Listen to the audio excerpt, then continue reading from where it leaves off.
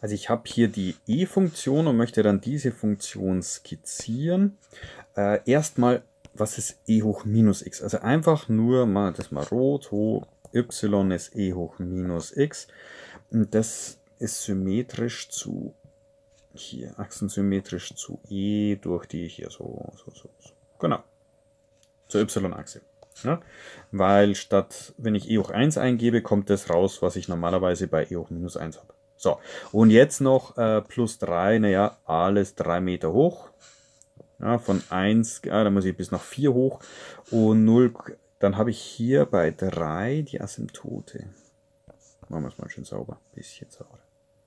Ja, hier bei 3 ist dann die Asymptote und äh, 0,5, dann wird es noch ein bisschen flacher.